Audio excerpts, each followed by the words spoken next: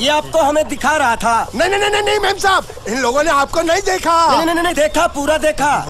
बॉलीवुड का एक ऐसा कॉमेडियन जिसकी कॉमिक टाइमिंग और शानदार अदाकारी ने दर्शकों को हंसा हंसा कर लोटपोट कर दिया।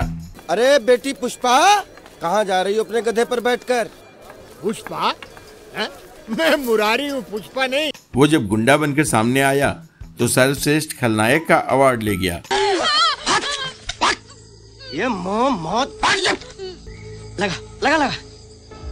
और जब गंभीर किरदार में पर्दे पर आया तो उसने दर्शकों को रुला डाला। अब हम आपके कंधे तक पहुँच चुके हैं। हम आपसे कम से कम बात तो कर सकते हैं।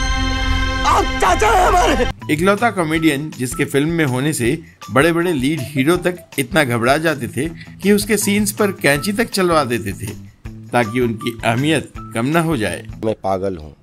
कौन बोलता है? लोग बोलते हैं मैं बदला बदला सा लगता हूँ। आपका क्या ख्याल है मंत्री जी? लेकिन क्या आप जानते हैं कि वास्तव में यह कलाकार फ़िल्मों में आने की बजाय एक सरकारी कंपनी में दर्जी बनने जा रहा था? तुम दोनों में से जूता अच्छी तरह पॉलिश करना किसको आता है? मुझे नहीं आता। इसको बहुत अच्छी तरह आता है। मास्टर है मास्टर। क्या आप सोच सकते हैं कि इस कलाकार ने की है खुद से लंबी लड़की से शादी और बेहद सुखी है इनका पारिवारिक जीवन? तुमसे कितना प्यार है। दिल में उतर कर। और क्या आप यकीन करेंगे कि इस कलाकार की महत्वाकांक्षा ने इसे इस कदर बर्बादी के कगार पर पहुँचा दिया था कि उन्हें जेल तक जाना पड़ गया था? राम और शाम दोनों एक ही है ना? हाँ हाँ हाँ बिल्कुल एक है बिल्कुल एक है। शक्ल सूरत से लंबाई चौड़ाई से कदकाठी से हम सब एक हैं। तो क्या है इस कॉमेडियन का वास्तविक नाम? और कौन सा था वो गलत फैसला? जिसने इसका करियर बर्बाद करने के साथ साथ पहुँचा दिया था इन्हें सलाखों के पीछे। और कहाँ और किस हाल में है, आज यह कलाकार। जानेंगे और भी बहुत कुछ। बस आप बने रहिए हमारे साथ। दोस्तों, नमस्कार। आप देख रहे हैं ड्रामा सीरीज़ भारत और मैं हूँ आपका दोस्त और होस्ट धीरज।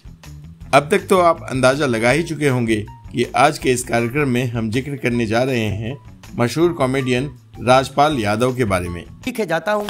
अरे बैग तो लेते जाओ। ओहो ये बैग भी इतनी भुलक्कड़ है जहाँ रखता हूँ वही बैठ जाती। चल सीधे।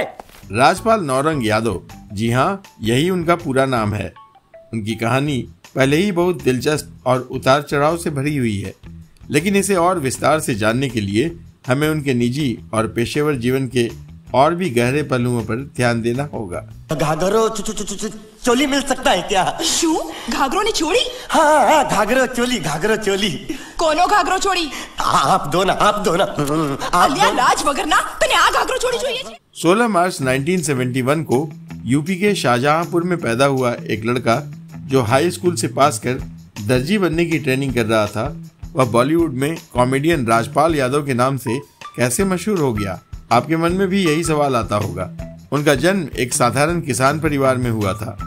उनके पिता का नाम नौरंग यादव था और माँ गोदावरी देवी घरेलू महिला थी। उनका पालन पोषण एक ग्रामीण परिवेश में हुआ था। दरअसल राजपाल यादव का मन बचपन से ही पढ़ाई में नहीं लगता था। हाँ गाँव के बाहर कहीं दूर रामलीला या नौटंकी हो रही हो तो वहाँ ज़रूर पहुँच जाते। उनके लिए बचपन में शिक्षा के मामले में बहुत उत्साह नहीं था। लेकिन कला के प्रति उनके झुकाव ने उन्हें एक अलग रास्ते पर चलने के लिए प्रेरित किया। कई बार जीवन में छोटी छोटी चीज़ें हमें अक्सर बड़े अवसरों की तरफ़ धकेलती हैं और राजपाल यादव के साथ भी ऐसा ही हुआ। जब उन्होंने रामलीला और नौटंकी में हिस्सा लेना शुरू किया तो यह किसी बड़े सपने की शुरुआत थी। उनकी कोशिशें और संघर्ष उन्हें आगे बढ़ने के लिए प्रेरित करती रहीं। चाहे वह उनके पाँच फुट दो इंच के कद की वजह से आर्मी में भर्ती ना हो पाना हो या पीएससी की भर्ती से छट जाना। हर विफलता के बाद उन्होंने नए मौके ढूंढे। यही हिम्मत और समर्पण आगे चलकर उनकी सबसे बड़ी ताकत बनी। ऑर्डिनेंस फैक्ट्री में दर्जी की नौकरी मिल गई और कुछ दिन प्रशिक्षण भी लिया। लेकिन काम में मन नहीं लगा और छोड़कर लखनऊ चले गए भारतेंदु नाट्य अकादमी ज्वाइन करने। वैसे मुझे नाटक करने का बहुत शौक है साहब। साहब मेरे दोस्त लोग बोलते हैं मैं शाहरुख खान जैसा दिखता हूँ। साहब ये बहुत अच्छी बात है साहब कि आप नए लोगों के साथ काम कर रहे हैं साहब। साहब मैं डांस भी कर लेता हूँ कहिए तो करके दिखा दो। वर्ष 1992 में अकादमी में दाखिला लेने के बाद राजपाल यादव का जीवन एक नई दिशा में बढ़ा। दो साल के प्रशिक्षण के बाद उन्होंने वर्ष 1994 में दिल्ली के नेशनल स्कूल ऑफ़ ड्रामा यानी एनएसडी की परीक्षा पास कर ली और वहाँ दाखिला मिल गया। एनएसडी में उन्होंने अपने हुनर को और निखारा। इस दौरान उन्होंने वहाँ कई शानदार नाटक किए और वहाँ के माहौल से बहुत कुछ सीखा। उस दौर में एनएसडी की गिनती भारत के सबसे प्रतिष्ठित थिएटर संस्थानों में होती थी और यहाँ से निकले कलाकार बॉलीवुड और थिएटर में अपनी अलग पहचान बनाते थे। एनएसडी में उनके सीनियर थे नवाजुद्दीन सिद्दीकी, जो राजपाल की खूब रैगिंग किया करते थे। 1997 में एनएसडी से एक्टिंग के महारथी बनकर निकले तो साल भर में ही दूरदर्शन से बुलावा आ गया। 1999 में आए टीवी सीरियल मुंगेरी के भाई नौरंगी लाल में उनके कॉमिक किरदार ने उन्हें जनता के बीच खासी लोकप्रियता दिलाई। कोई हमारे बाबूजी यहाँ बैठे हैं जो हमको देंगे। अब देखिए ना रह रहा हूँ आपके घर में खा रहा हूँ आपके घर में तो डिनर खर्चा कौन देगा? आप ही ना देंगे। दिलचस्प संयोग यह रहा कि दूरदर्शन पर ही मुंगेरी लाल के हसीन सपने में मुख्य भूमिका में रघुवीर यादव थे जिनसे नाम कद काठी और कुछ हद तक शक्ल मिलने के कारण लोग इन्हें उनका सचमुच का भाई समझने लगे थे। अरे कांता दीदी!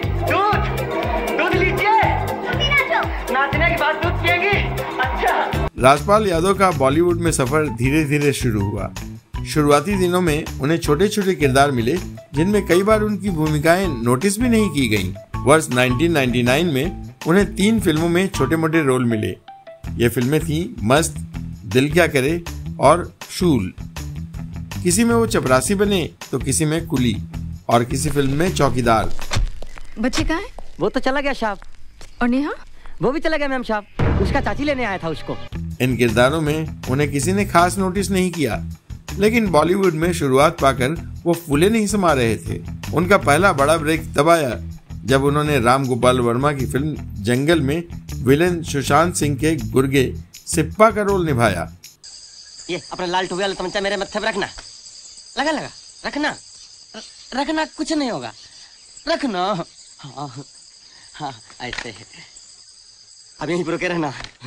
वर्ष 2000 में आई इस फ़िल्म में राजपाल का किरदार वैसे तो मुख्य विलेन का नहीं था, लेकिन इसमें भी उन्होंने अपनी अलग पहचान बनाई और बेस्ट विलेन का स्क्रीन अवार्ड जीता।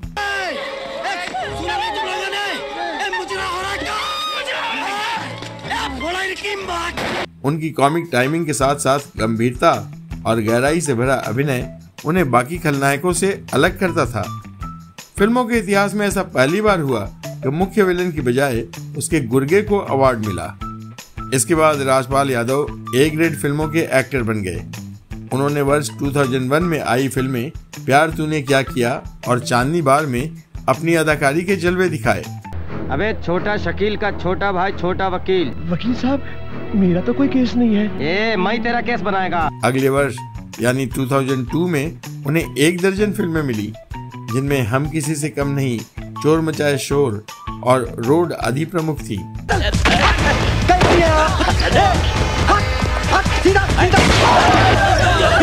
वर्ष 2003 में आई फ़िल्में, डरना मना है, मैं माधुरी दीक्षित बनना चाहती हूँ और हंगामा में उनके अभिनय की खासी प्रशंसा हुई और कई पुरस्कार समारोहों में उन्हें नॉमिनेशन भी मिले। मारो हमको मारो। हमको ज़िंदा मत छोड़ो सालो। हम कोई मंदिर का घंटा है कि कोई भी आके बजा जाता है। वर्ष 2004 में रिलीज़ सुपरहिट फ़िल्म मुझसे शादी करोगी में उन्होंने सलमान खान के ज्योतिष सलाहकार राज पुरोहित पॉल की ऐसी शानदार एक्टिंग की कि दर्शक बरसों बाद तक उन्हें याद करते हैं। अरे मैं नाम का नहीं मैं काम का ज्योतिषी हूँ। अच्छा। मैंने तुम्हारी कुंडली देख ली है। अच्छा मैं तुम्हें रानी से मिलवा देता हूँ वरना तुम ऐसे ही खिड़की से गिरते रहोगे ना? 2005 की फ़िल्म गरम मसाला 2006 की फ़िल्में फिर हेरा फेरी मालामाल वीकली और भागम भाग में उनके अभिनय ने लोगों का दिल जीत लिया। अगर रोल चाहिए? तो तुम्हें उस लड़की को हीरोइन बनाना पड़ेगा जो तुम्हारे ग्रुप में काम करती थी। क्या नाम है उसका? नाम वो उसका नाम से क्या करना है तुझे हाँ साले शादी करनी है उसके करोड़पति 25 दिन में। मैं कोई गाँव से आया हूँ क्या? नकली नोट छापने का धंधा है क्या? धंधा नहीं है। ये ओह सरक। राजपाल की खास बात यह थी कि वह किसी भी किरदार में ढल सकते थे चाहे वो कॉमेडियन का हो या फिर कोई गंभीर रोल। उन्होंने हर किरदार में अपनी अलग छाप छोड़ी। राजपाल कॉमेडी फ़िल्मों के सफल निर्माता निर्देशक प्रियदर्शन के तो फेवरेट कलाकारों में शामिल हो गए थे और उनकी लगभग हर फ़िल्म में इनका एक रोल अवश्य रहता था। वर्ष 2007 में आई फ़िल्म भूल भुलैया का छोटा पंडित का किरदार हो या उसी साल आई ढोल में मार्तन मारू दमदेरे की भूमिका। उन्हें याद कर लोग हंसे बिना नहीं रहते। पहले मैं वहाँ जाऊँगा। फिर? और फिर जानबूझकर हल्के से बूढ़े से टकराऊँगा और फिर मैं पलट के देखूँगा। अरे आप राहुल के दादाजी तो नहीं है। इस पैतरे से अगर बूढ़ा नहीं गिरा तो मेरी कदकाठी और कम कर देना। वर्ष 2008 में आई गॉड टू सी ग्रेट हो कि रंगीला लॉटरी वाले हों या फिर उसी साल आई फ़िल्म भूतनाथ के एंटनी। उन्हें हर रोल में कामयाबी मिली। पच्चीस रुपए कर दो ना मेरी दारू की बाटली भी आ जाएगी। कर दो ना कर दो ना। तू चल। झाड़ू उठा तू। चल जल्दी कर। थैंक यू 2010 की फ़िल्म खट्टा मीठा का रंगीला हो या 2011 की फ़िल्म बिन बुलाए बाराती का मुरारी? उनके हर किरदार में उनके अभिनय की छाप अवश्य दिखती थी। तू खाली टारकोल डाल। अरे अगर रोड के बीचों बीच रोड़ी और बजरी नहीं डालोगे तो गाड़ियाँ सीधे पाताल में घुस जाएँगी। इन किरदारों में उन्होंने अपनी कॉमिक टाइमिंग और अदाकारी से लोगों को खूब हंसाया। उनके हर संवाद अदायकी में हास्य की एक गहरी समझ होती थी। जो उन्हें बाकी कॉमेडियंस से अलग बनाती थी। ये चल क्यों नहीं रही है? बीस साल पुरानी है। इस पगलटे ने जंग लगी बंदूक दे दी यार। यही वजह थी कि बॉलीवुड के बड़े बड़े निर्देशक और निर्माता अपनी फ़िल्मों में उन्हें लेना पसंद करते थे। उन्होंने कुल 200 से भी अधिक फ़िल्मों में तरह तरह के किरदार निभाए। आप मेरे जैसे गरीब के बगैर एक पल नहीं रह सकते। राजपाल यादव का करियर अपने शिखर पर था और उसी समय उन्होंने एक ऐसा निर्णय ले लिया जिसने उनके जीवन को पूरी तरह बदल दिया। 2010 के आसपास उन्होंने अपने फ़िल्म निर्माण की कंपनी नौरंग गोदावरी लिमिटेड की स्थापना की।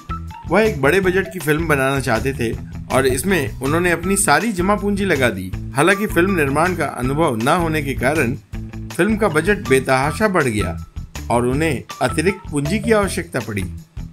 इसी बीच उन्होंने दिल्ली के एक व्यवसायी, माधव गोपाल अग्रवाल से पाँच करोड़ रुपए उधार लिए। राजपाल ने वादा किया था कि वह आठ करोड़ रुपए वापस करेंगे।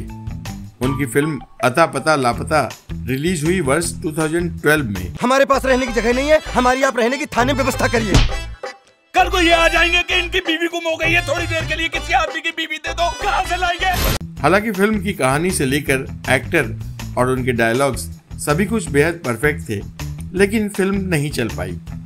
और इसके फ्लॉप हो जाने के कारण उनका सारा पैसा डूब गया। गायब हो गयो मकान मचो है हंगामा।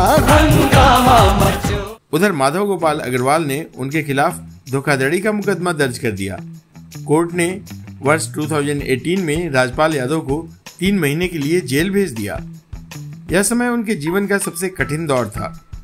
जेल से बाहर आने के बाद भी उन पर कर्ज का बोझ था और कोर्ट ने उन्हें 14 करोड़ रुपए चुकाने का आदेश दिया। जेल से बाहर आने के बाद राजपाल यादव ने फिर से बॉलीवुड में अपनी जगह बनाने की कोशिश की। तू? लुच्चे, तू मेरा पीछा करता करता यहाँ तक आ गया? उन्होंने छोटे और बड़े दोनों फ़िल्मों में काम करना शुरू किया। तूने मुझे पहले बताना चाहिए था सब खुल के। क्या खुल के बताना चाहिए था? ये तूने मुझे बोला कि बच्चे का बाप बनना है बीवी का पति बनना है तो उसी समय तुम्हें बच्चे का नाम भी तो बताना चाहिए था। लेकिन पहले जैसा जादू दोहराने में उन्हें कठिनाई हो रही थी। हालाँकि उनके फैंस आज भी उनकी फ़िल्मों का बेसब्री से इंतज़ार करते हैं। भैया अपने मोहल्ले की लड़की कहीं नहीं जाएगी अपने मोहल्ले में ही शादी करेगी और मोहल्ले में ही रहेगी। जब दिल चाहे तो अपनी माँ से मिल सकती है अपने बाप से मिल सकती है अपने भाई से मिल सकती है। जी भैया आदेश करें। राजपाल ने डिजिटल प्लेटफॉर्म पर भी अपनी पहचान बनाने की कोशिश की और ओ टी प्लेटफॉर्म्स पर भी कुछ प्रोजेक्ट्स किए। 2020 की फ़िल्म कुली नंबर वन के पिंटो और 2021 की फ़िल्म हंगामा टू के पोपट जमाल व राजा धतिंगर धिंगड़ा जैसे किरदारों ने राजपाल की वापसी को सशक्त पहचान दी। It's Pintu mama looking good Pintu my man Pintu ये क्या है? अरे तेकाउ तरमानी तेकन तोन तो क्या? Armani jack and Jones Gucci Rajpal Yadav ने बॉलीवुड को और भी कई यादगार किरदार दिए हैं जिनमें 2021 की बूट पॉलिश के गूगल बाबा और टीवी सीरीज़ पॉपकॉर्न के सुल्तान कुरैशी व तौफीक कुरैशी अरसे तक दर्शकों के दिलों पर राज करते रहेंगे। उलट बाबा मेरे पूज्य डैडी थे। मैं उनका बेटा हूँ गॉगल बाबा।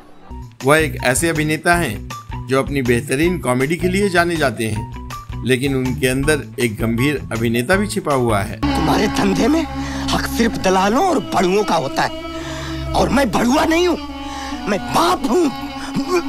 उन्होंने अपने करियर के दौरान हर तरह की भूमिकाएँ निभाई हैं। और आज भी उनके फैंस उन्हें स्क्रीन पर देखना चाहते हैं।